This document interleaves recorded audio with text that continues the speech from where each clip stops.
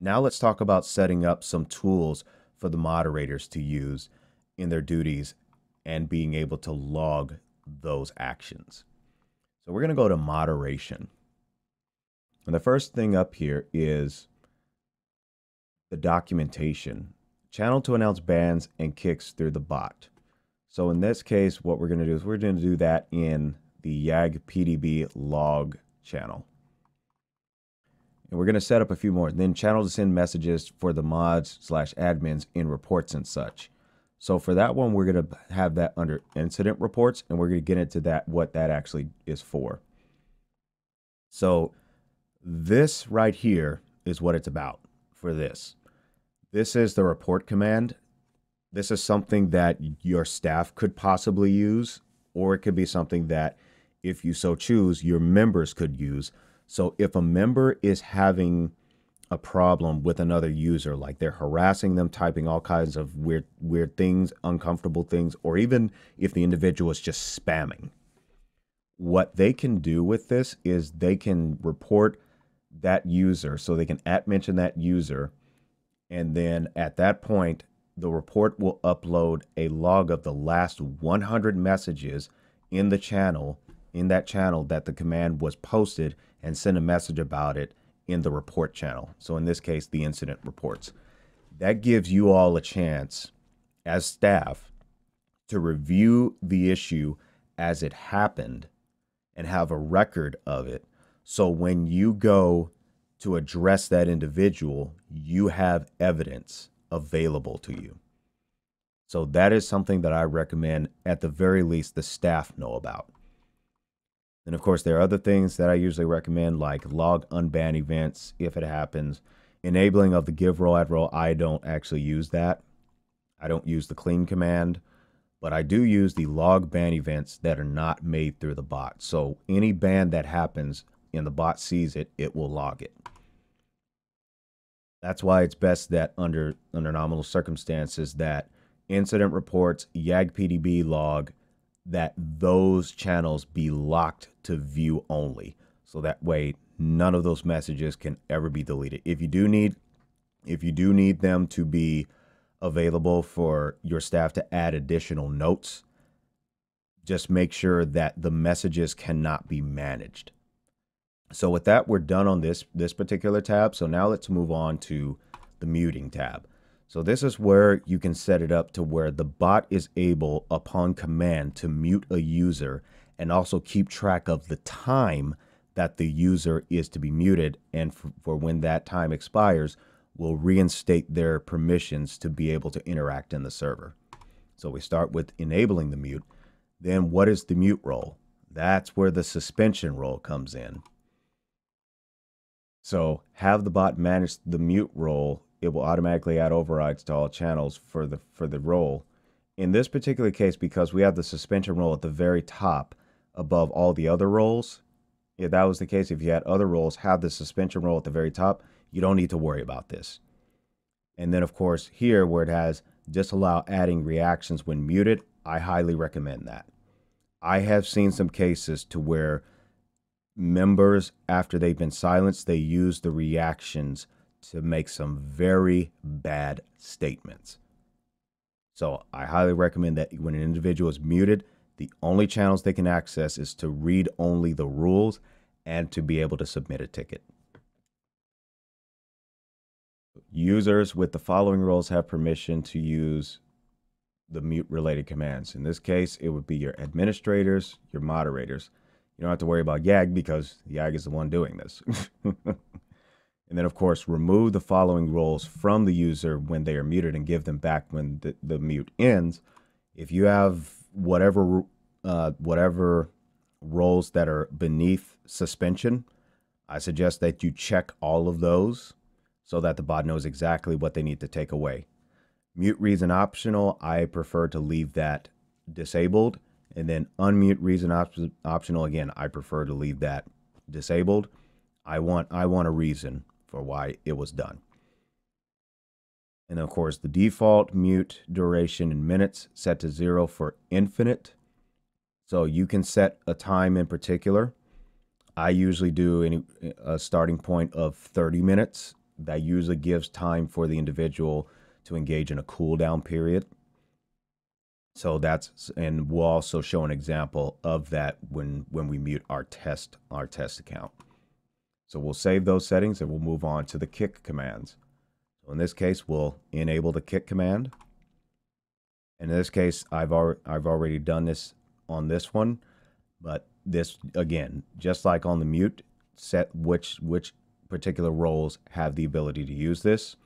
You can also set to delete the user's last 100 messages upon a kick. If you want to enable that, by all means, go for it. I would say for damage control, it's a good idea to do that because having it continue talk about an altercation that has been resolved, it just doesn't look good. For the ban ban concept, it's the same thing as the kick and the mute. Just enable it and set it and move forward for the warnings. Now, this is cool. So, if you need to keep track of how many warnings you give individuals instead of having to type it in and all this kind of stuff, well, the bot can do that for you. So, by enabling this and, of course, setting the permissions on who can use it, then also, and then you have one down here which says create message logs in the channel that the command was run in when the user was warned. I prefer not to do that and then I'll send warnings to the mod log, I'm okay with that. Okay, so that is set up. And then, of course, you have some other stuff like uh, basic moderator, you have auto moderator, uh, you have some other logging options. So this is something that I would recommend too.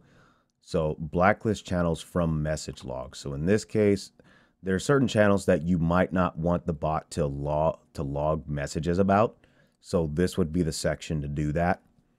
Like I like in this case, I would say the entrance. We probably don't want them to do it. But then again, if the, if you're seeing someone who's going back and forth and stuff, this may be something to consider. There is also there's also the notion of let's say the rules section, but ultimately in many cases, I would say the YAG PDB log itself, probably not worth it. And any others that you see fit, go ahead and log that. Restrict message log access. So in this case, you base you basically only want to restrict it to a certain set of parties. In this in this case, because if it says if none are set, everyone will be able to access message logs, including users not logged in at all. Otherwise, access is restricted to only the specified roles. So with that, obviously you want at least your admins. Maybe, maybe, maybe not. But ultimately, that's what it comes down to. If you trust your moderators, then by all means, go for that too. So then you go ahead and save that. So now let's get into showing about the warning system. Just to start, because it's pretty clear on kick and ban. But let's talk a little bit about warning and also muting right quick. So as a moderator slash administrator, if you go to the modbot commands and you see this legend right here, so you have the warnings and strikes, messages, user, and creates a log. So what happens is we're going to do a quick thing here. All right, so we're going to send a warning to our test account. So to do that, we're going to do this. And I, I pre-typed something earlier. So we're going to do that, and then we are going to send it. So now our test account has been warned. And as you can see, there's a login for that. And it has the reasoning down there as well. So if we flip over to our test account, you can see that the test account has received a DM from the YAGBot.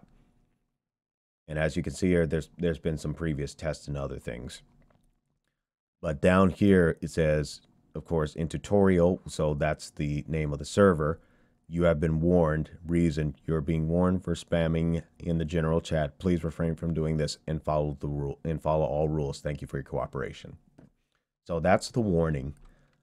So what if we act and then what if we wanted to check how many warnings the individual has had? Let's just do an let's just do another one just for good measure so we can so we can we can show some things also. Okay, so they've been warned again. Now, as we can see up here where it says warnings list, So it retrieves a list of warning for a user. So what we can do is we can actually put in the command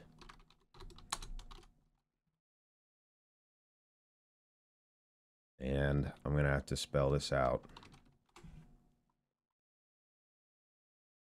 Gotta get rid of all the rest there and and it shows you right here how many the the the total list of warnings and what they were. It brings up all of the details on what was sent. So this is a pretty powerful thing to do. Plus you have you have page flipping in case there's there's more of them. Okay, so that's the warning factor. Now of course we can look at something called muting. So in this case what we can do is by using this we can mute someone for a specific amount of time. So if you have to mute someone and warn them, then of course that's a sequence of commands. But in this particular case, what we're going to do is we're actually going to mute the user. That's the same as before. And the thing is, what we need to do is we need to put in the mute command itself, who it is, in field three, the number of minutes, and then in field four, what the reason is. So right now we have the mute in field one, who it is we're muting in, in the second field, and then one number in particular in field three, and then of course our message in field four. So now if we go back to our particular user, they have been muted. And for this case, it's for one minute for this example. If we go back to the server, you can see that, and we'll fix this because as you can see here, they still have access to one of the voice channels because we didn't set the rules for it. So if we edit the category and we edit the permissions and we bring in the suspension, and then we, of course, we lock everything out. In this case, this is the category, so it's going to give all options here.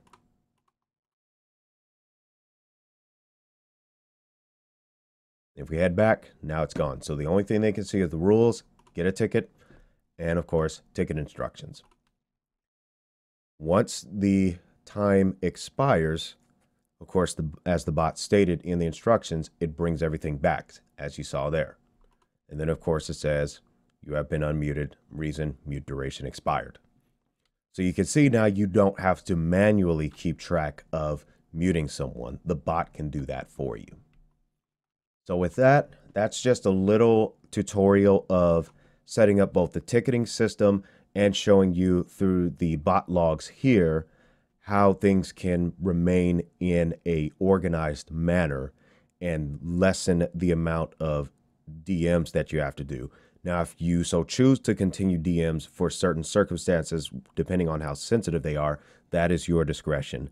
But with this, I'd say this could be very useful especially if you're receiving multiple inquiries and you want your team to come together to try to figure out which ticket that your staff would want to work on. So I want to thank everyone for watching this video. I hope this tutorial was helpful to you. If you like what you saw this time around, maybe consider leaving a like. And if you'd like to see more, maybe consider subscribing. Let me know in the comments what else you would like for me to do as far as Discord tutorials, and I'll see what I can do in the futures with that. So until next time, happy mixing, everyone.